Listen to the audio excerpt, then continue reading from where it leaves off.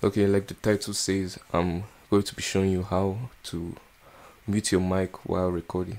So, like, I know there are some certain times when you turn on your mic, um, you hear your voice, it can be kind of annoying or distracting, and you'll not be able to record properly.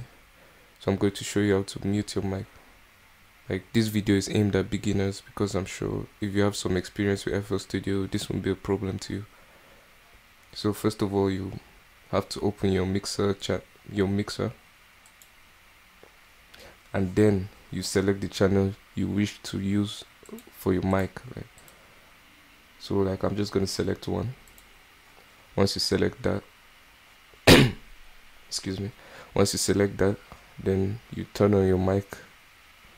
Like i don't know if you know how to turn on your mic but like i'm sure you're supposed to but just click this none and select one or two like I don't know which one but it's gonna give you your mic.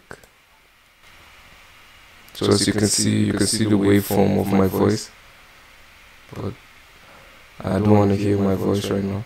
So like you're gonna hear your voice if this is turned on.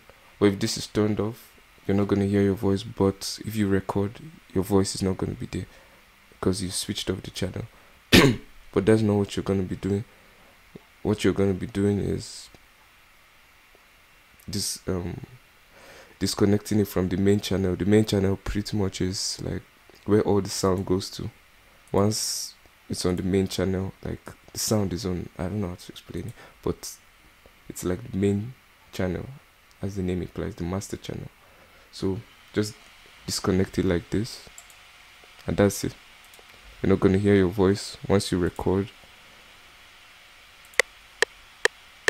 one two one two. Your voice is going to be there but you're not going to hear it.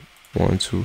Your voice is going to be there but you're not going to hear it. One two one two. Your voice is going to be there but you're not going to hear it. So thank you. If, you if this video was helpful to you like and subscribe to my channel. Thank you very much